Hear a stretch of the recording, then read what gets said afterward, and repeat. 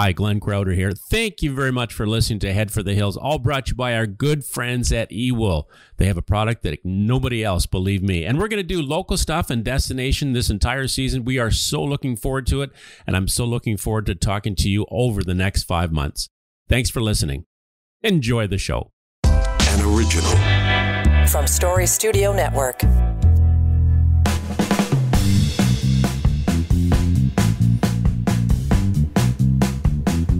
Look at that. We blink and we're nearly halfway through December already. Can't believe how fast it Right? goes, Dave. Can't, No kidding. Unreal. Yeah. we just got the boards on, and all of a sudden we're looking at, oh my goodness, we're already finished. Glenn Crouter here. I'm Dave Trafford. This is Head for the Hills Season 2. And uh, if you're just joining us, you want to jump into last week's show, uh, all talking all about the the new amenities at Mount St. Louis Moonstone. Uh, you know what? I'm just glad that they're able to kind of stand up a resort full season finally. You know, Robert and his team are uh, obviously excited, but I thought it was interesting. He was talking about the need for staff. So if you're looking for, for work up in that part of the world, maybe Dave, there's something there. Absolutely. You know, that was the problem again last year. And that's not just locally here in Ontario, it's right across the board. Uh, not only in uh, the States, but Canada west. Um, Banff, uh, certainly a visit out there earlier. I saw uh, BC, the same thing. They're all looking for really good help. And you know what? You don't even have to be tremendous at it. They'll teach you how to do it. And also, by the way, this is a huge bonus. You get to have free skiing. So that's a pretty good deal. That's worth about a thousand some odd dollars all in itself. Yeah, and and you know the the, the, jobs out there. Um, uh, it sounded like their whole new hospitality uh, offering is really they've upped their game there. So you're kind of working in an elite environment even there, right? Yeah, really. Mount St. Louis Moonstone, they've, they've always been the leader in a number of areas, and hiring this catering company just put them that much better. And and the really cool part about it is, and a lot of the resort operators can understand it, and I believe it's called chair surfing, as our next guest uh, describes. Some of the people that come out and the kids go out skiing, they sit in the chalet. They deserve a good meal and deserve to have some fun as well, not just because they can't go out on the hills, but inside. So if they can have some wonderful options, and uh, as you mentioned, ramen, they've got all sorts of uh, schnitzels and things like that. So they've really upped their game and uh, and people are really excited about it. I know for I was I had a Nathan's hot dog a foot long, pretty good man. I like it. So you just kept to one Nathan's just so that the E-wool vest didn't get too snug. Is that exactly. You got to be careful with that E-wool vest because it does have a little spandex on the side, but we didn't want to push it too much. Yeah. So Ewool is a sponsor of the program, and we thank them for their uh, their involvement here. And you know, I know we talked about this last season because they jumped on the show right away. But um, the idea that you know I can kind of go out and be comfortable for a, a a long period of time, whether I'm on the slopes, on the skidoo. Um, you know, my son's an ice fisherman; he loves to do that. Sits out there in the middle of the lake. Um, I can think that there's a lot of folks who'd be uh, pretty excited about uh, taking advantage of that. There's no restriction to where you're going to wear this vest. Uh, I again, I have a friend. She's in equestrian riding, so she's the, on her horse. Uh, and the great thing about it, I've said this before, you don't need the Michelin look, the big jacket, the big puffy jacket to keep warm. All you need to do is just have a simple jacket, and you have a nice, un- uh, I'm not going to say an undershirt, but certainly a turtleneck, a light turtleneck you can put underneath, and then the e-wool on top, and you'll be warm for the rest of the day. And I kid you not. And not only just skiing because you get create your body heat when you ski, but also the real part where you get cool, standing in line and then going up on the lifts. That's where you get cool, and this is where this e-wool vest really comes in handy. So if you want more information, check out their website, ewool.com. It's ewool pro technology. This Is SSN.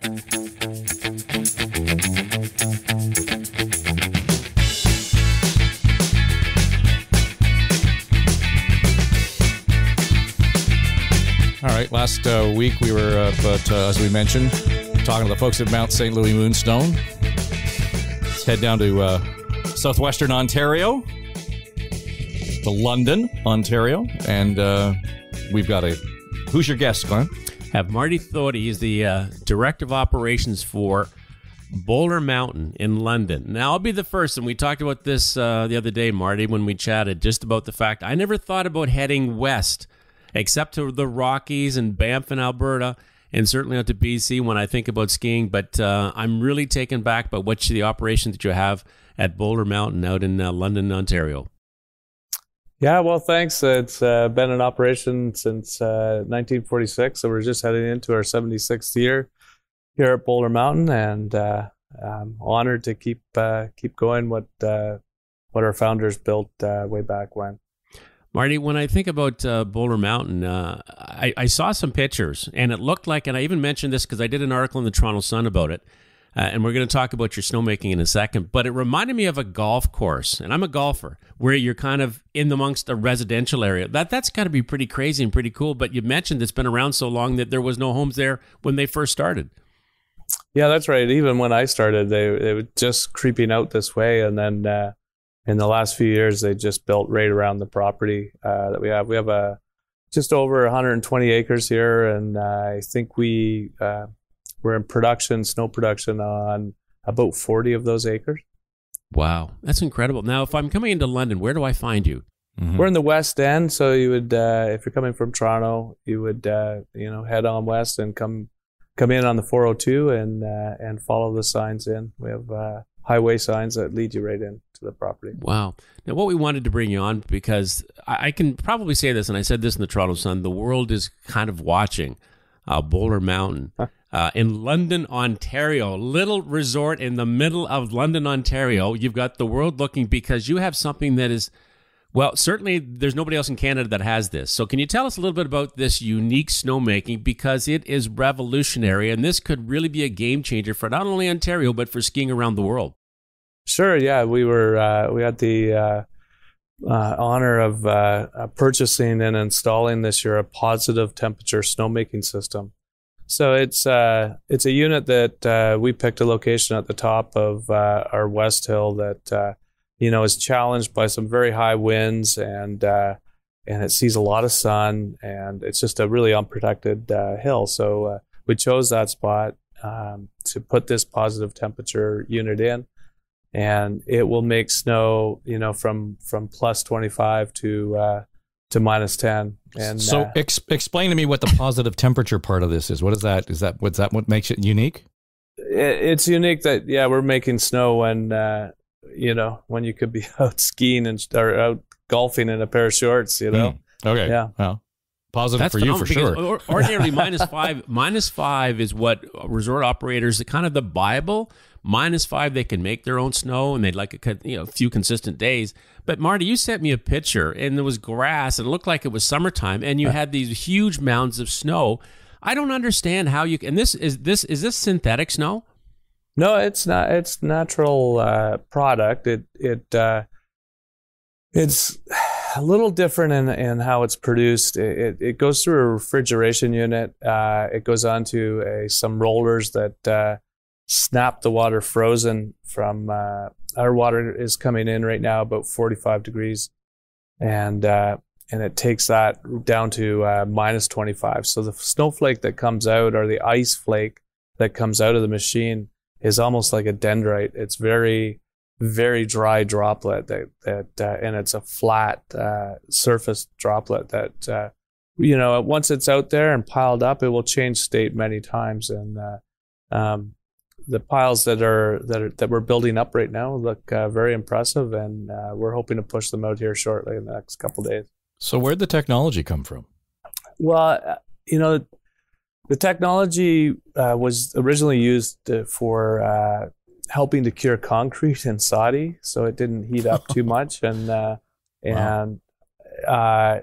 actually, the folks that that built this one. Um, they would build refrigeration units for the largest uh, grocer chain in, in in Europe, and and you know by accident they occasionally made a bit of snow or this this type of product uh, as they were setting up the unit. They they realized that there were other applications to the refrigeration units they were they were building, and and uh, this is the uh, the direction that they decided to take their company in, and uh, and it's a family, you know, family-owned operation. The we portion in in France, and they partnered up with HKD, uh, who manufacture out of Quebec.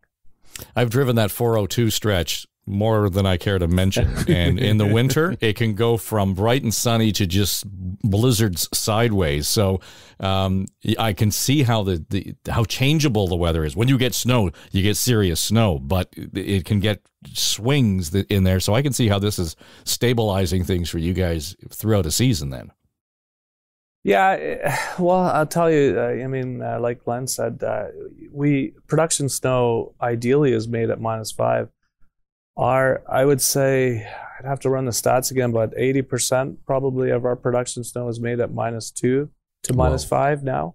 And uh, when I first started in the industry, I, you know, I've been lucky enough to w- have worked here for many years now, and uh, we wouldn't start until the temperature was uh, was minus five and dropping, and uh, and now we start right at minus two, and sometimes we stay there. Like it never gets colder, but um, uh, it, it we just we see the writing on the wall, I guess, and unfortunately, um, and we we've come close three seasons out of the last five where we couldn't offer all of our terrain up uh, when our programs began, and you know we're we're located right in a residential neighborhood of London, so we have we're program heavy. Uh, we introduce a lot of people to the sport, and we really rely on on running these programs. And uh, yeah, we were we were awful close last year to not being able to offer up enough terrain to support a program. So Yeah, I was looking at your list of uh, offerings there from the snowboards. You get the program for the kids aged five and six. Uh,